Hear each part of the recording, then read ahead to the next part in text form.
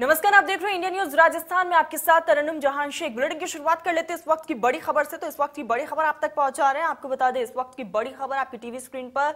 Mount Abu से बड़ी खबर, ज़िंदा जले बाइक सवार दो युवक। इस वक्त की बड़ी खबर ग्यारह केवी विद्युत लाइन तार टूटने से ये बड़ा हादसा हुआ है, जिसमें दो युवकों की मौत हो गई है। मौके पर पहुँची फायर ब्रिगेड की टीम। तो इस वक्त की बड़ी खबर आप तक पहुँचा रहे हैं। फायर ब्रिगेड के ने आग पर कड़ी मशक्कत के बाद काबू पाया है।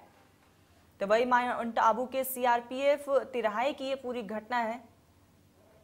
तो ये बड़ा हादसा हुआ है। माउंट आबू से ये बड़ी खबर आप तक पहुँचा रहे हैं। ज़िंदा जले बाइक सवार दो युवक।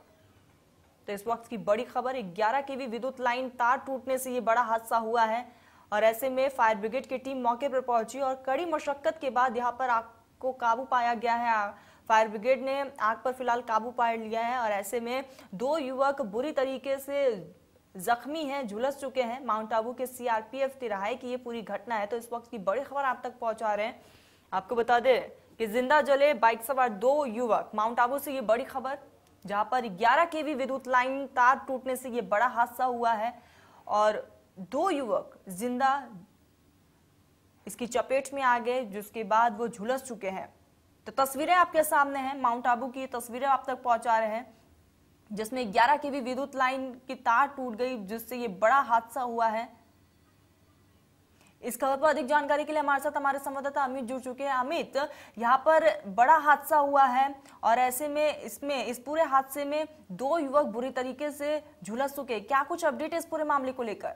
हुआ है, माउंट आबू में पहली बार हुआ है। एक 11 केवी की जो लाइन थी सीआरपीएफ का चौराया है, वहाँ पे वहाँ पे गिरी हुई थी। और सुबह कोई देवगढ़ के निवासी जो थे मोटरसाइकिल पे जो है वहाँ से निकल रहे थे तो उस टाइम पे जो अचानक ही वो उसकी चपेट में आ गए और दोनों जने जिंदे जले पुलिस को जैसी सूचना मिली, पुलिस मौके पे पहुँची।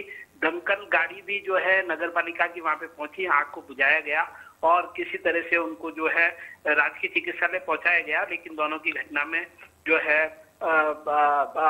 अभी अभी जिस प्रकार की जो माउंट आबू के एसडीएम है, अभिषेक सुराना, वो भी मौके पे पहुँचे थे और पूरी घटना की जो है, जाँच की जा रही है।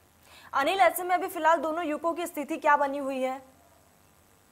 जिस प्रकार से अभी कुछ दीपावली का समय होता है और कहीं ना कहीं लाइनें जो है ठीक करने का कार्य चल रहा होता है। माउंट आबू में इस प्रकार की पहली घटना है। बाकी ऐसा कभी हादसा हुआ नहीं है। लेकिन जिस प्रकार से या तो तार टूट के नीचे गिरा हुआ था और सुबह का समय था सवा चार बजे की यह घटना है।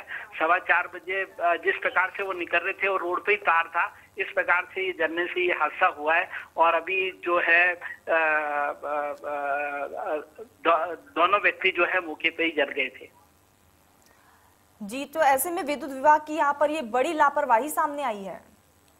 बिल्कुल बिल्कुल जो कहा जाए कि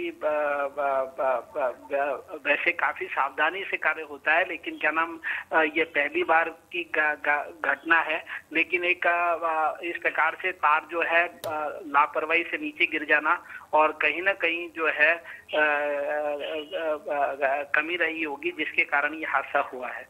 ठीक है, अनिल, तमाम जानकारी हम तक पहुँचाने के लिए आपका बहुत बहुत शुक्रिया। तो ये माउंट आबू से बड़ी खबर, जहाँ पर विद्युत विभाग की बड़ी लापरवाही सामने आई है, जिसकी वजह से दो युवकों की मौत हो चुकी है। आपको बता दें कि 11 के भी विद्युत लाइन तार टूटने से ये बड़ा हादसा हुआ।